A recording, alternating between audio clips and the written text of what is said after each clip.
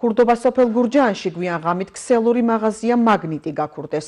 სუპერმარკეტიდან წაღებულია ალკოჰოლური სასმელები და თამბაქო. დამნაშავე სავარაუდოდ თანხის წაღებაც სურდა, თუმცა სალაროდ სარიელი დახვდა. მან შუშის მინამ ძიმე საგნით ჩაამტრია და მაღაზიაში ამ გზით შეაღწია. გურჯაანის პოლიცია მომხდარზე გამოძიება ქურდობის მუხლით დაიწყო. მოვედი ფილიალში მინდოდა შესვლა და მითხრეს რომ გატეხილიაო და რა არის წაღებული ზუსტად არ ვიცი.